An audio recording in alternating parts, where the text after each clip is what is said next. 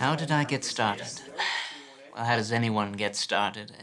It may be an invite or you see it on your friend's wall, but for me, it was fate.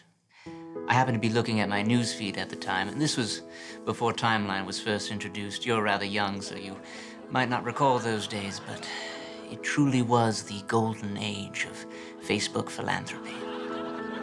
The first cause that I ever liked was a group of unicyclists who were traversing the country to raise awareness for something. I can't quite remember what it was, but something about it caught hold of me. And I remember saying, John, which is my name, I was talking to myself, you're in a position to help here.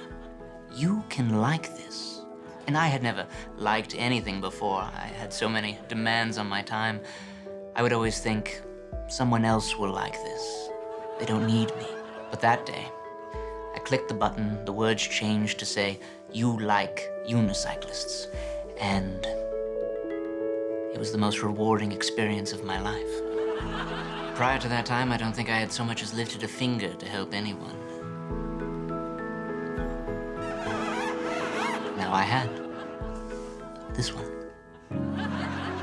Before I knew it, I was liking over a hundred different causes, from Tanzania forest preservation to teaching sign language to underprivileged chimpanzees. And with every like, I couldn't escape the feeling that I could do more. So eventually, I started my own nonprofit organization with over 200 employees now, whose sole purpose is to search for worthy Facebook causes and like them. They work tirelessly. Some even have multiple accounts so they can like things several times. It's really quite amazing. Good.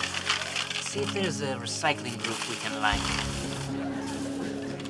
To date, we are responsible for more than 10 million likes. Imagine that. 10 million. Don't hesitate to like something just because you may be one man or preteen girl. You never know who your like will benefit.